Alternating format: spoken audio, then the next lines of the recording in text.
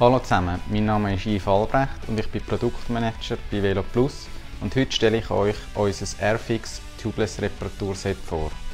Das Tubeless Reparaturset besteht aus der Kautschukgewürste, die in zwei verschiedenen Breiten dabei ist, aus einem Werkzeug, um die Kautschukwurst ins Loch hineinzudrücken, einer Aale, um das Loch anrauen, dass nachher die Kautschukwurst besser hebt, dann einem Leim, der auch für zusätzlichen Halt sorgt, einem Messerli, wo man dann die überstehende Kautschukwurst abschneiden kann, plus einer kleinen Anleitung, wie das Ganze funktioniert.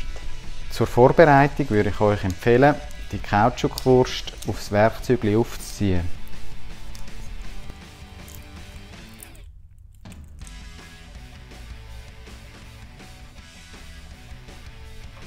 Als zweites tut man das Loch anrauen, wo ja eben durch die Tubeless-Flüssigkeit nicht mehr geschlossen werden kann. Das da ein paar Mal anrauen, dass das nachher gut hebt. Als weiterer Schritt tut man die Kautschukwurst auf dem Werkzeug reindrücken.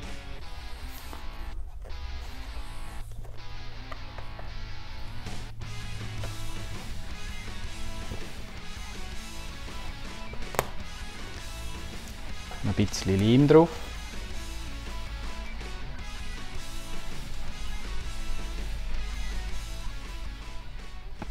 Das Ganze würde im Notfall auch ohne Leim heben. Der Leim tut aber eigentlich eine dauerhafte Standfestigkeit garantieren. Das Werkzeug wieder rausziehen. Jetzt hat man hier so eine überstehende Kautschukwurst. Die kann man jetzt noch mit dem Messer abschneiden, allerdings mindestens 5 mm überstehen lassen.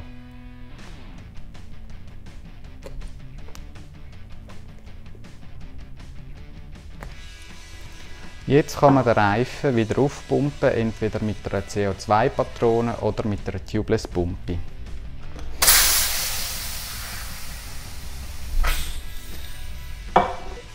Wie man sieht, ist der Reifen wieder dicht dank dem Airfix Tubeless Reparaturset von Velo Plus.